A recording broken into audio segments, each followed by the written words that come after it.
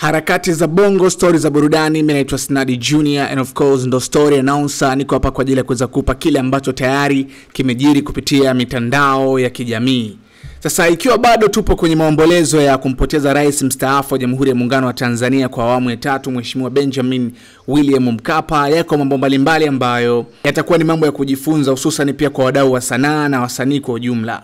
Wapo wasanii ambao wameshiriki katika utunzi wa tungo mbalimbali za nyimbo na za maombolezo kwa kuonyesha kwamba wanathamini mchango wa serikali kwenye tasnia ya sanaa Tanzania, lakini pia wanamwenzi Mheshimiwa Benjamin Mkapa.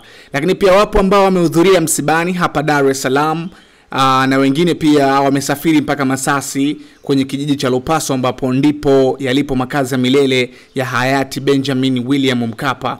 Sasa katika wadau na wasanii ambao wamehudhuria ni pamoja na mdau wa sanaa na meneja kutoka lebo ya WCB Wasafi Babu Tale, nyota wa muziki kutoka MMB Madi Ali, lakini pia ngulu wa muziki wa hip hop hapa Tanzania, namzungumzia pia Mwana FA, lakini pia Doki mtangazaji kutoka EFM, Bidazen Harmonize, lakini pia nimeona baadhi ya watangazaji kama Gardner Shafi Dauda, Musa Hussein, Askof TZD pamoja na Sebastian Maganga, lakini pia meneja wa Harmonize Jembe ni Jembe pamoja na Mjerumani na mkurugenzi wa EFM pamoja na ETV Majizo aliweza pia kuhudhuria au ni baadhi ya wasanii ambao nimeona wameweza kuhudhuria kwenye huo msiba. Sasa hii ni kutokana na mchango mkubwa wa serikali katika tasnia ya sanaa, utamaduni na michezo, na watu wengi walifikiria ama walidhania wali, wali kwamba pengine kungekuwa na lundo la wasanii katika safari ya mwisho ya Benjamin William Mkapa, lakini hali imekuwa tofauti kidogo. Na remind you, kama unakumbuka, pia wiki mbili zilizopita pia